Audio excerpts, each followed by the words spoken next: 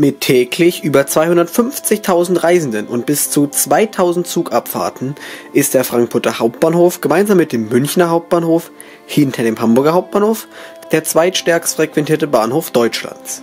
In diesem Video möchte ich euch so kurz und kompakt wie möglich den Zugverkehr an diesem Bahnhof samt der eingesetzten Fahrzeuge im Fahrplanjahr 2019 vorstellen. Wir beginnen mit dem Fernverkehr, der bis auf wenige Ausnahmen von den Gleisen 4 bis 13 verkehrt. Um dieses Video kurz zu halten, wird beim Fernverkehr auf Abweichungen und Verstärkerzüge weitestgehend verzichtet. Wir beginnen mit den Fernzügen in Richtung Ostdeutschland. Stündlich verkehrt ein ICE nach Leipzig. Dabei handelt es sich immer im Wechsel um einen ICE der Linie 50 Wiesbaden-Dresden mit ICE-T und einen der Linie 11 München-Berlin mit ICE 1 oder ICE 4 Triebwagen. Immer in der Stunde, in der der ICE nach Dresden fährt, gibt es einen ICE Sprinterzug mit einzigem Halt in Erfurt und Halle nach Berlin. Dieser fährt als Linie 15 mit ICE 3 oder ICE T-Triebwagen. Nach Berlin kommt man jedoch nicht nur stündlich über Erfurt, sondern auch über Braunschweig. Dabei handelt es sich ebenfalls um zwei zweistündige Linien, zum einen die Linie 12 Basel-Berlin mit ICE 1 Zügen und zum anderen die Linie 13 Frankfurt Flughafen Berlin mit ICE T-Zügen. Letztere hält aber meist nicht am Frankfurter Hauptbahnhof, sondern nur in Frankfurt Süd. Selbige Richtung steuern auch die Linien 20 und 22 nach Hamburg an. Die Linie 20 ist mit ICE 1 Triebwagen aus Zürich und die Linie 22 mit ICE 1 oder 4 Triebwagen aus Stuttgart kommen unterwegs.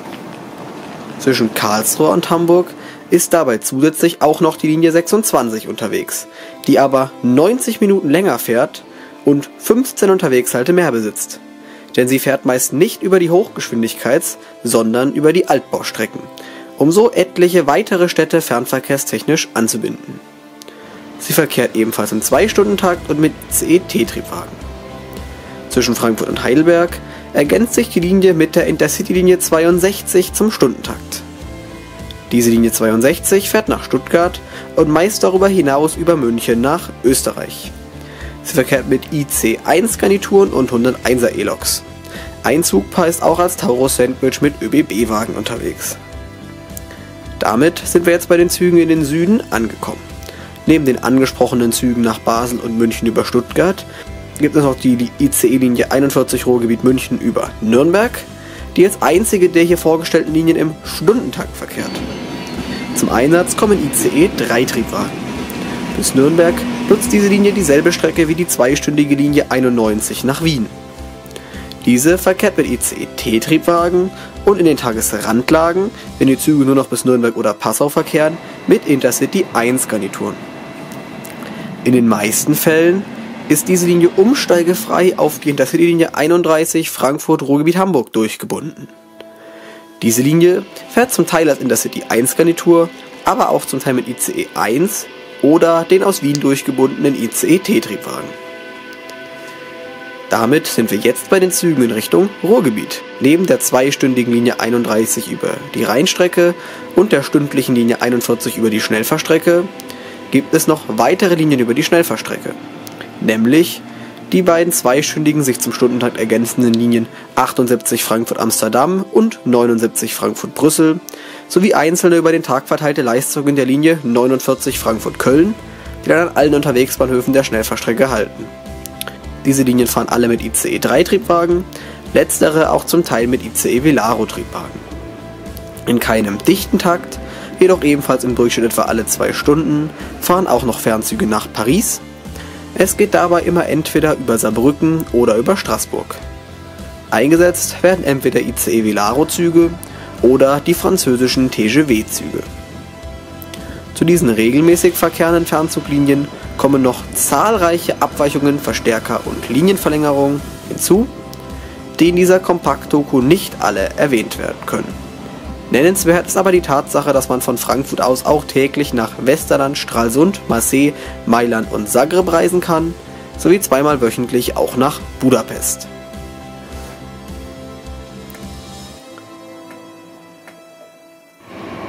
Machen wir jetzt weiter mit dem Nahverkehr, bei dem bis auf die S-Bahn alle Züge in Frankfurt beginnen bzw. enden. Starten wir mit den Zügen in Richtung Norden, also jenen auf der Main-Weser-Bahn, die immer auf den Gleisen 11 bis 17 anzutreffen sind.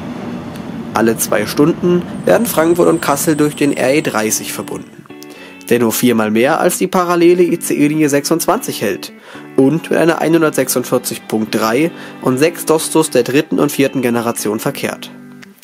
Zum Stundentakt ergänzt wird er vom RE 98 Frankfurt-Kassel, der aber ab Kirchhain überall hält und bis Gießen einen RE 99 nach Siegen mitführt. Diese Linien fahren logischerweise ebenfalls alle zwei Stunden und werden von der Hessischen Landesbahn kurz HLB mit FLIR zwei Triebwagen erbracht. Hinzu kommt der öfter haltende Mittelhessen-Express, der einmal pro Stunde von Frankfurt nach Gießen verkehrt. In der einen Stunde hält der Zug ab Friedberg, in der anderen erst ab Gießen überall. Hinter Gießen geht es für den vorderen Zugteil nach Treisa, zum Teil auch nur bis Allendorf oder Marburg, und für den hinteren Zugteil nach Dillenburg. Diese Züge werden mit 442 Triebwagen der DB Regio erbracht. Hinzu kommen zwischen Frankfurt und Gießen bzw. zum Teil weiter bis Marburg noch etliche Verstärker mit 442 oder 146 mit Dostos, teilweise auch mit 114 und Dostos. Zuletzt gibt es auf dieser Strecke noch die RW 34, auch Stockheimer Lieschen genannt. Im Stundentag geht es mit Triebwagen der Baureihe 642 nach Glauburg-Stockheim. Im Berufsverkehr verkehrt die Linie sogar halbstündig. Dann gibt es auch zwei Verstärker mit vier Doppelstockwagen und einer Diesellok der Baureihe 245.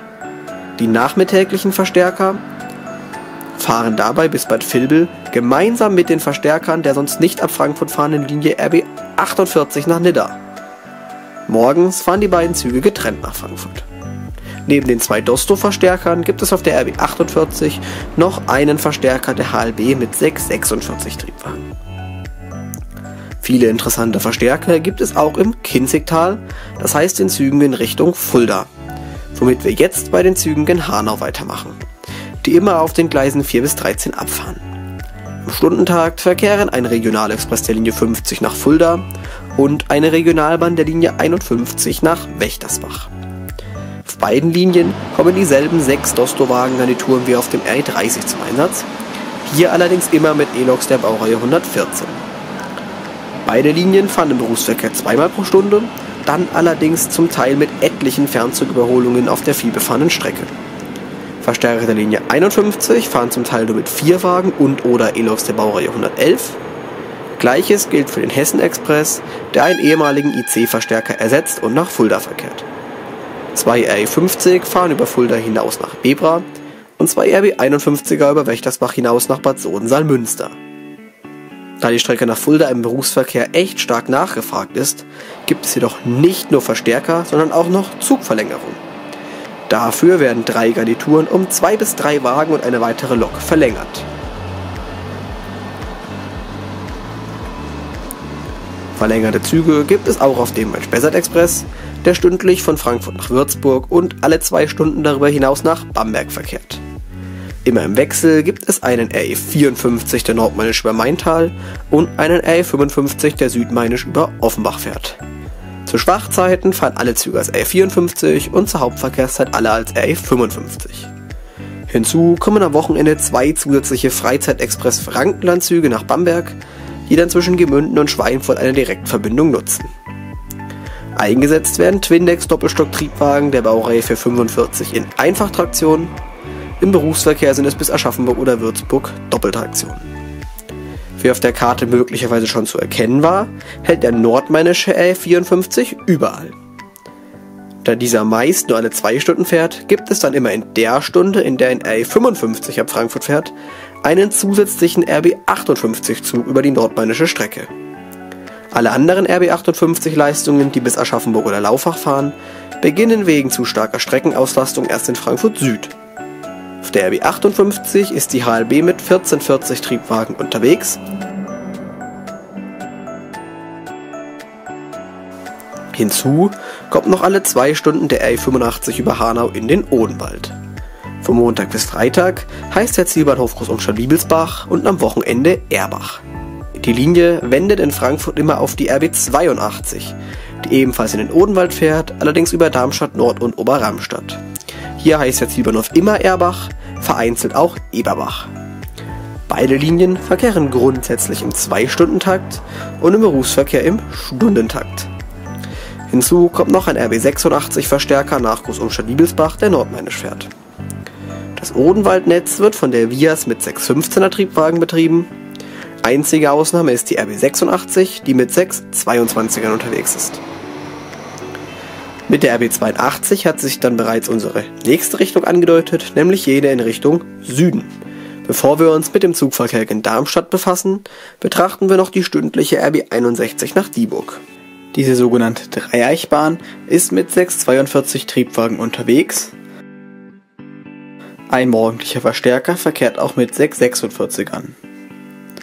Seit 2. Februar sind hier die ersten Peserling-Triebwagen der Baureihen 6632 und 633 im Einsatz, die schrittweise bis Sommer 2019 auf alle Umläufe in den Betrieb gehen sollen. Nun aber zu den Zügen nach Darmstadt, bei denen in der Regel ein Halbstundentakt angeboten wird.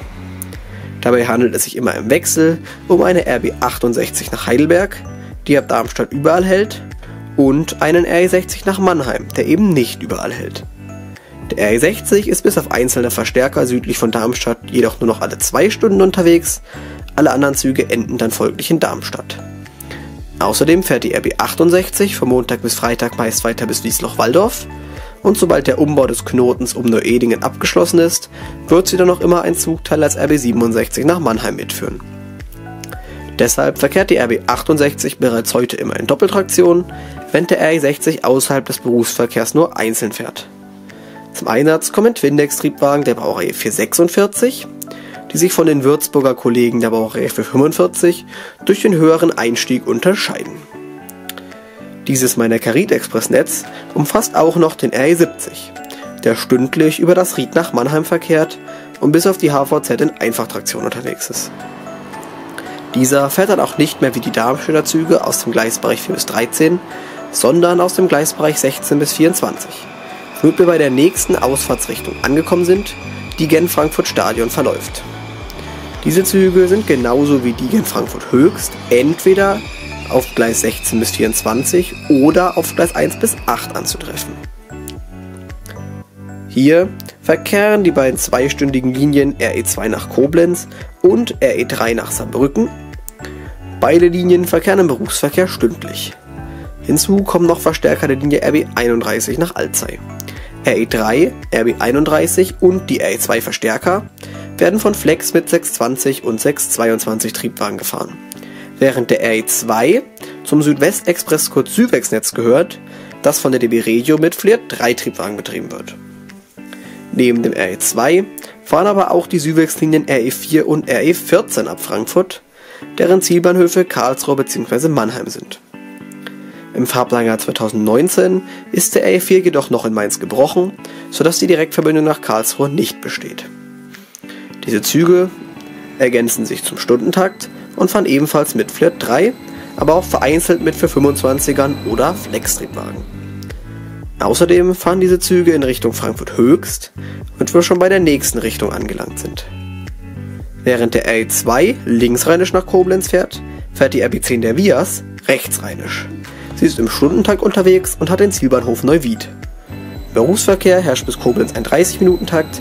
Außerdem gibt es zwei RE9-Verstärker nach Eltville, die nicht über den Wiesbadener Hauptbahnhof fahren. Hier kommen Flirt 1-Triebwagen zum Einsatz. Nach Limburg gibt es ebenfalls eine stündliche Verbindung, die durch die RB22 hergestellt wird. Sie verkehrt im Berufsverkehr halbstündig und wird dann zusätzlich durch den stündlichen, nicht überall haltenden RE20 verstärkt. Die Züge beider Linien fahren alle mit 3 bis 5 Doppelstockwagen und E-Loks der Baureihe 143. Ebenfalls über Höchst fahren auch die Züge der Linie RB12, die meist im Halbstundentakt unterwegs ist und nach Königstein fährt. Hier setzt die HLB Dieseltriebwagen der Baureihen 609.0 oder 648 ein. Mit selbigen Fahrzeugen fahren auch die HVZ-Verstärker der RB15 nach Gräfenwiesbach oder Brandoberndorf die im Berufsverkehr zusätzlich ab Frankfurt fahren und zum Teil umsteigefrei mit der RB12 zusammenhängen. Von den jetzt genannten Zügen fahren bis auf die Linien RE4, 14, 20 und die RB22 alle, bis auf Ausnahmen, von den Gleisen 16 bis 24 ab. Nur die eben genannten sind auf den Gleisen 1 bis 8 anzutreffen, wo auch die S7 der S-Bahn Rhein-Main beginnt. Bis auf einzelne S1, 2 und 8 Verstärker sowie eben S7 halten alle weiteren S-Bahnen im Tiefbahnhof auf den Gleisen 101 bis 104. Das Netz der S-Bahn Rhein-Main umfasst die Linien S1 Rödermark-Oberroden-Wiesbaden Hauptbahnhof, S2 Dietzenbach-Niedernhausen, S3 Darmstadt Hauptbahnhof Bad Soden, S4 Langen-Kronberg, S5 Frankfurt-Süd-Friedrichsdorf, S6 Frankfurt-Süd-Friedberg, S7 Frankfurt Hauptbahnhof Friedstadt-Godelau, S8 Offenbach-Ostwiesbaden Hauptbahnhof und S9 Hanau Hauptbahnhof Wiesbaden Hauptbahnhof. Grundsätzlich fahren alle Linien im 30-Minuten-Takt, auf S1, 2, 5 und 6 kommt es aber auch tagesabhängig auf Teilabschnitten zu einem 15-Minuten-Takt. Außerdem bilden S3 und 4 sowie S8 und 9 auf dem gemeinsam genutzten Streckenabschnitt jeweils einen 15-Minuten-Takt. Die S8 verkehrt im Berufsverkehr auch weiter bis Hanau. Zum Einsatz kommen auf der S2 bis 6 Triebwagen der Baureihe 423 und auf der S1, 7, 8 und 9 430 Triebwagen. Voraussichtlich ab Sommer 2019 soll die S7 mit modernisierten 425ern verkehren.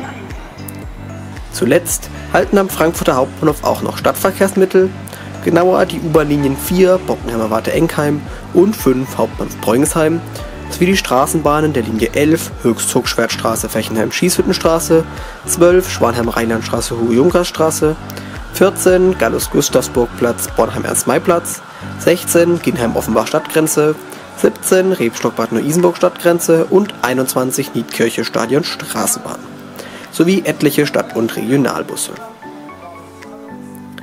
Damit sind wir jetzt auch am Ende der Vorstellung des Zugverkehrs am Frankfurter Hauptbahnhof angekommen und damit verabschiede ich mich von euch und sage vielen Dank fürs Zuschauen bei dieser Kompakt-Doku.